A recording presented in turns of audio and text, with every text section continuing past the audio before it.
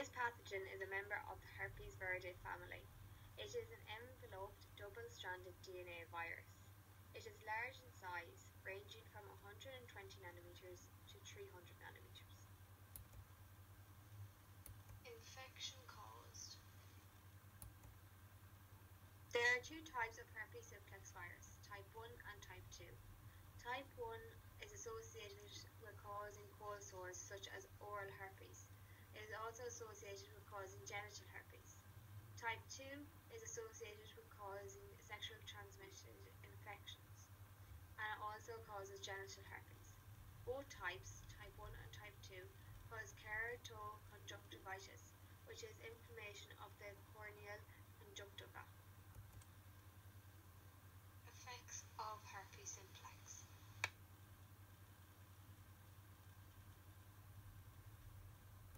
The rate of infection for herpes simplex type 1 is affected by the age, location, and socio-economic states.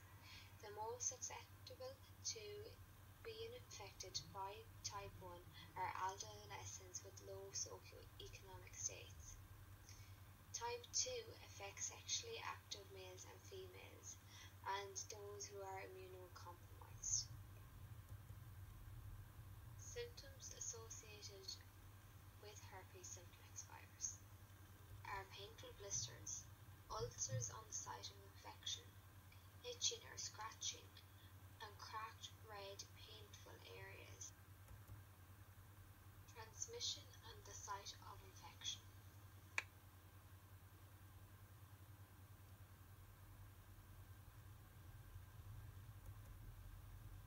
Type 1 is transmitted by oral contact, causing infection in around the mouth.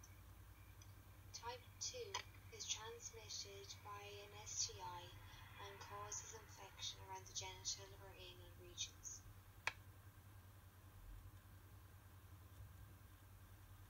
Incidence of infection.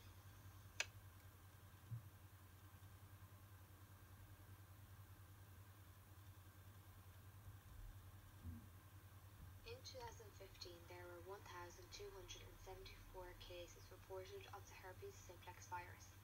56 were type 1 and 34% were type 2.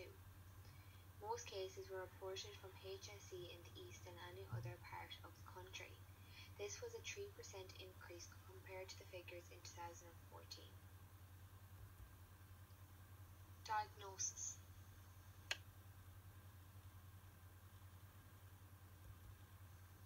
Diagnosis of genital herpes should be confirmed by laboratory testing. Should be confirmed by using direct tests for isolation, the detection of any antigens present, the detection of herpes simplex virus DNA using molecular techniques. There should be also testing carried out for serotypes. Treatment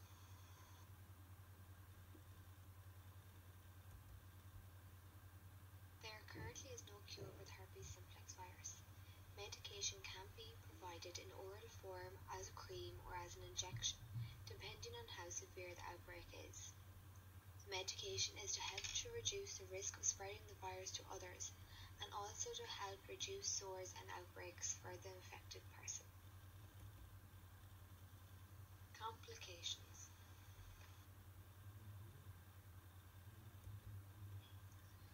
There are many complications associated with genital herpes. It can increase the risk of contracting or transmitting other STIs, including AIDS. Babies born to infected mothers are exposed to the virus, this can result in brain damage, blindness, and even death to the baby. It can also cause inflammation of the urethra, causing bladder problems for the infected person. In rare instances, it can cause meningitis by causing inflammation of the cerebrospinal fluid.